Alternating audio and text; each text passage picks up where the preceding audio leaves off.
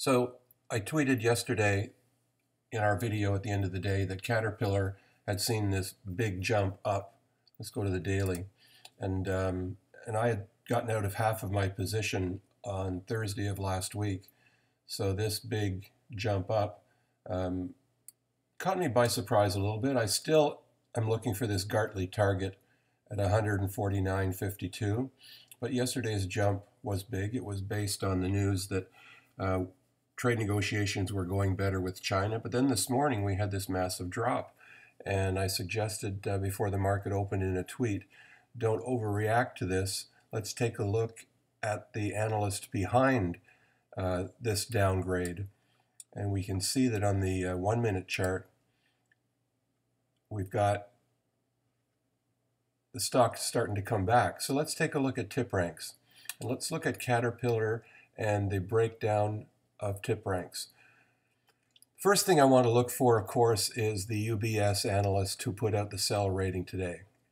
So he is a 0.9 star out of 5 in the overall rankings. He downgraded CAT to a sell rating 15 hours ago. Let's click on him and let's find out. He is ranked pretty much near the bottom of all uh, analysts.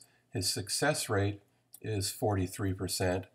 His average return over a year against no benchmark, he's, un, he's down 2% if you followed everything that he traded.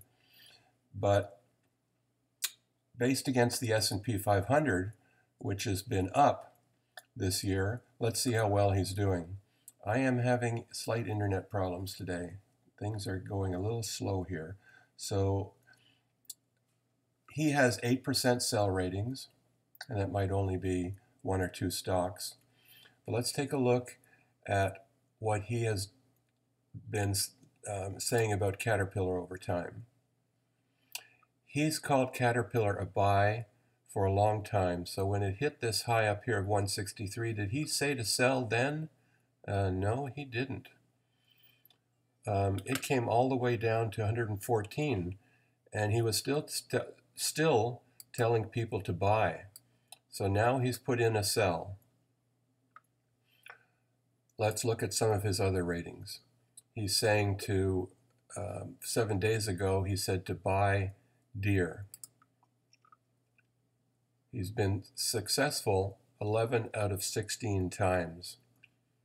So if you traded with him every time he made a buy or sell recommendation, you'd be about 69%. Sorry for the speed. But if you had traded with him um, every time he said to buy, you'd have been in the money five times out of 12. So I'm not ready to pull the plug based on this analyst.